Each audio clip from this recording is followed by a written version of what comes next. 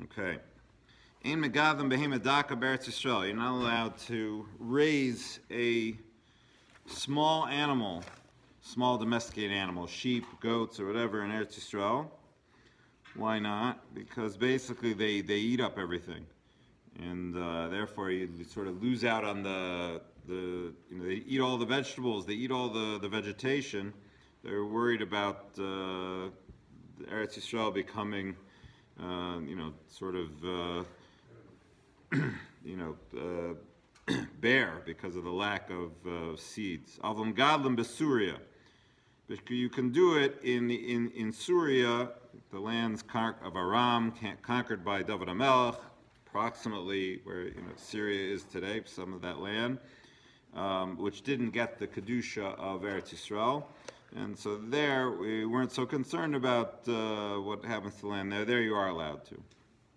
Midbaros, Eretz Yisrael. And also in the Midbar, in the desert areas in Eretz Yisrael, we're not so worried there either about uh, the uh, damage to the land, and therefore that's okay.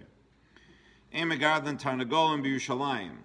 You're also not allowed to raise chickens in Yerushalayim because of the uh, the karbanos, because of the uh, the holy offerings. They're worried that the, the chickens are going to be running around. They go into the garbage. They go into the, they find the dead animals. They're going to bring it, and it's going to end up touching the karbanos to make things tamei.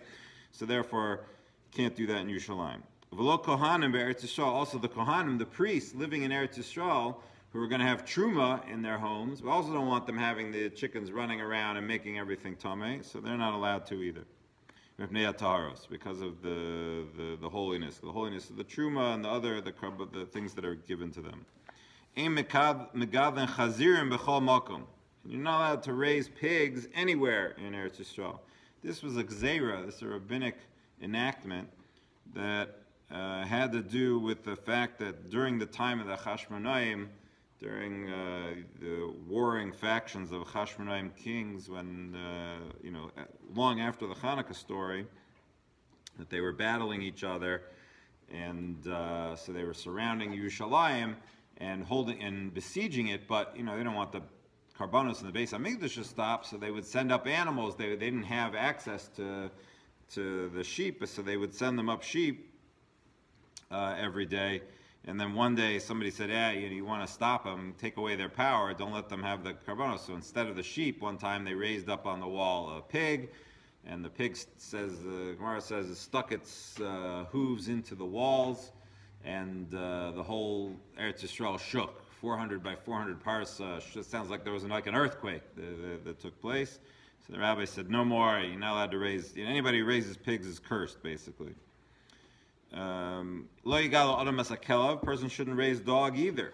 Elim kain haya kosher b'shalshalas, unless it's tied up with a with a chain, tied up well with a chain. Here it's talking about the Gemara makes clear it's kelev ra, talking about like uh, an evil, dangerous, you know, rabbit dog type of thing. The dog's gonna be a dangerous animal. It's gonna scare the pregnant women, and they're gonna uh, when it barks, and they're gonna lose their kids. So uh, basically, don't uh, don't do such a thing. Um, unless you got it tied up really well, then nobody's afraid of that as long as it's tied up really well. Ein porson nishbin layonim elim kein hayarachok min shloshim ris.